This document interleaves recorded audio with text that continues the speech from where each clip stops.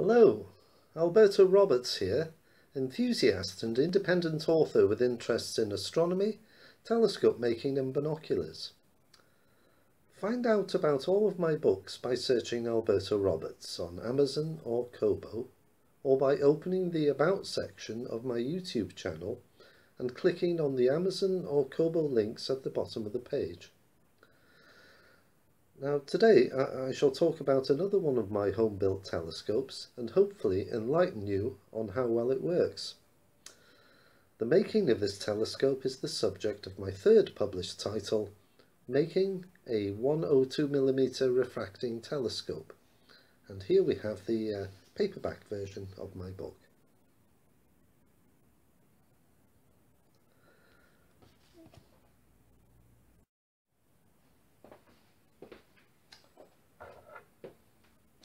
And here it is, my 102mm aperture refracting telescope mounted on a Vixen Altazimuth mount uh, and wooden tripod.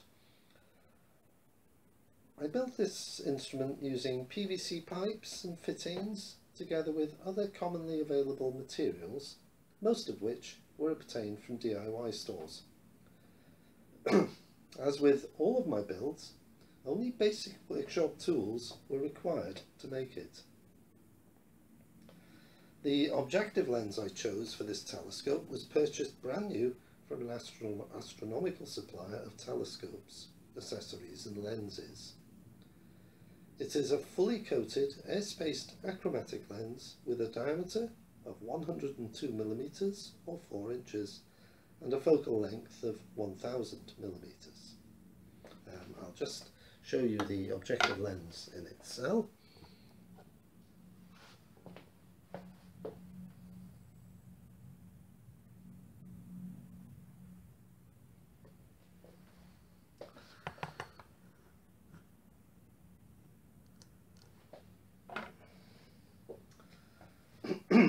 now, I've designed this telescope to work with a range of standard fitting accessories.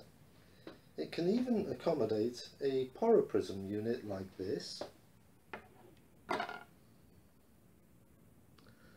And that would make the telescope suitable for terrestrial viewing. Today I'm using this telescope in astronomical mode. A 20mm focal length Plossl eyepiece with a 31.7mm barrel has been secured in the eyepiece adapter of the draw tube.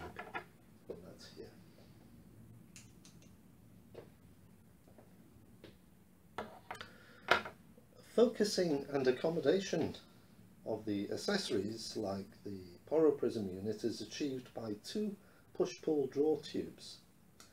Uh, the black tube here and also the white tube. And I'll just quickly demonstrate uh, how they operate. So the black tube can move in or out like this and also the white tube.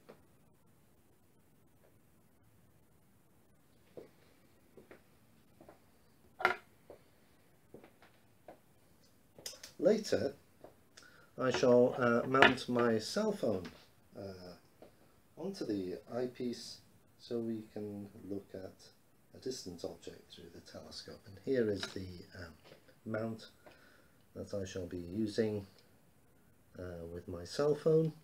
The mount was about £5 from eBay.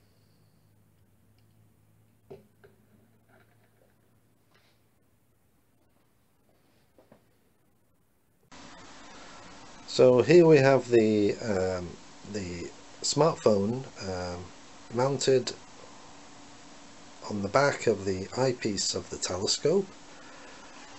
And if I swing over you'll see the view that we're looking at here is uh, some mountains in, in the distance. And again as in my previous video a tall chimney stack about two or three kilometres away uh, in between the two houses in the foreground.